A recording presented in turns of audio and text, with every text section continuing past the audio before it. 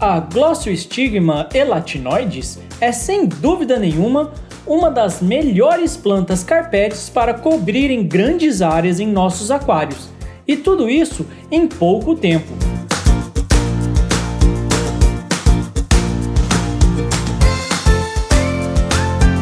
Quando expostas a uma iluminação de moderada a intensa, elas crescem para as laterais muito rente ao substrato e com folhas bem miúdas.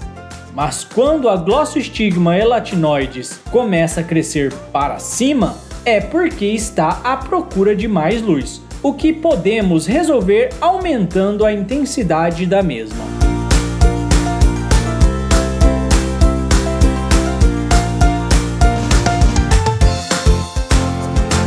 A glossostigma tem a tendência de começar a crescer em camadas, ou seja, logo após cobrir toda a porção do substrato, ela irá bater nas paredes do aquário e voltar no sentido oposto, criando uma camada em cima da que já estava lá. É muito importante não deixar que essas camadas passem de duas, pois se isso acontecer, as camadas de baixo irão ficar sem iluminação e morrerão, o que pode aumentar a matéria orgânica do seu substrato e causar diversos malefícios para o aquário.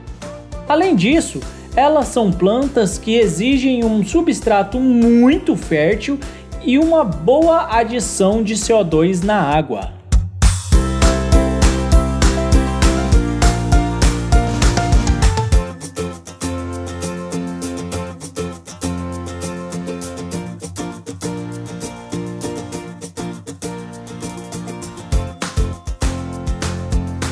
Obrigado por assistir ao nosso canal. Caso tenha alguma dúvida ou queira dar alguma sugestão, deixe um comentário.